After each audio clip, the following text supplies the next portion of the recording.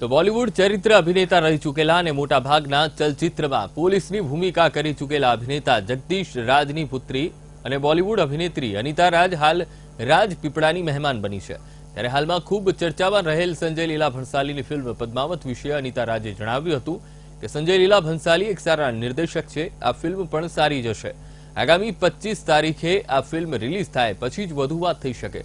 રાજપીપળા વિશે અભિનેત્રીએ જણાવ્યું હતું કે રાજપીપળા એક સારી જગ્યા છે ઘણા વખતથી રાજપીપળામાં આવવાની ઈચ્છા હતી જે આજે ગુજરાતી ફિલ્મના શૂટિંગ માટે અહીં આવી ત્યારે આ ઈચ્છા પૂરી થઈ છે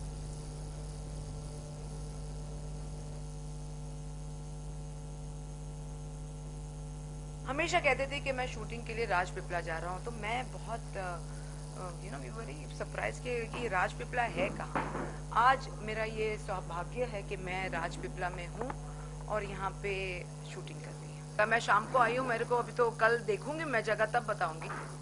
अब तक मैंने देखी ही नहीं जगह। ये आप देखिए हम फ़िल्म की बात करते हैं। हम अपनी फ़िल्म की बात करते हैं कि मैं इस फ़िल्म में क्या करूँ। पद्मावती पद्मावती हम देखेंगे 25 तारीख को जब रिलीज़ हो